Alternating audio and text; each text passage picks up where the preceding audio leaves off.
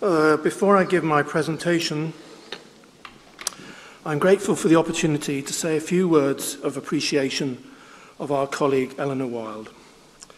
Ellie joined my lab in July 2016, short, uh, 17, sorry, shortly after the start of the Mutographs project.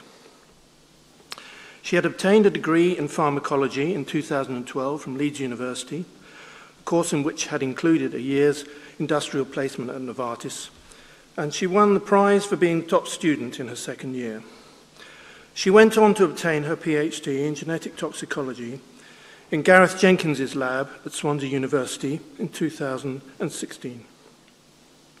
So she came to us with a good pedigree, and so it proved. As we were taking our first tentative steps into growing and maintaining human tissue organoids for the project, Ellie demonstrated enthusiasm, flair, skill, and rigor in her work, and she made valuable contributions to our progress in the early stages of the project.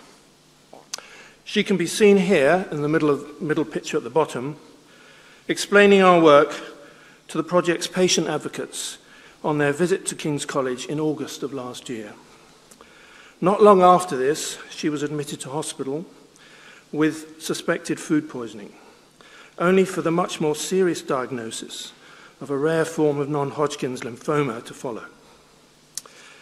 Ellie undertook the ensuing course of high dose chemotherapy with fortitude and without complaint, spending most of the rest of the year in hospital. Her course of treatment complete, she emerged from hospital in January and set about regaining her strength. In early February, she was declared to be in remission and was making plans to return to work as soon as her blood count was high enough for her to travel on public transport safely. But sadly and suddenly, she was back in hospital in early April having relapsed. Around that time, she was married to her fiancé, Jatin Verma, whom she had met in the Jenkins lab in Swansea.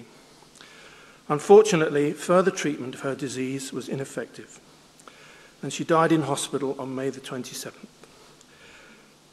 surrounded by her family and husband. A promising career and a life cut tragically short.